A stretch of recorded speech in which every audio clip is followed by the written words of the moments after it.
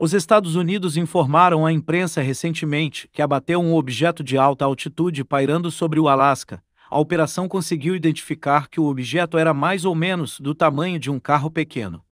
Segundo o comandante da operação, um KCF-22 se aproximou do objeto e avaliou que não era tripulado, e essa informação foi dada a Baida.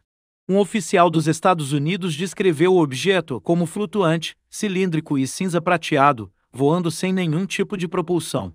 Segundo o porta-voz da Casa Branca, o exército preparou uma operação para buscar os destroços do objeto, a fim de descobrir a origem dele.